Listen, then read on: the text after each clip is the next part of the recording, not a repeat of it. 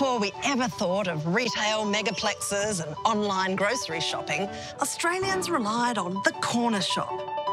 The Ferrones are back. Oh, look, Ferrone and son. Where is the daughter? They're going back in time There are a couple of things missing, like everything. from colonial Australia It's manual intensive labour. through the 20th century. Oh my God! How do you click dial?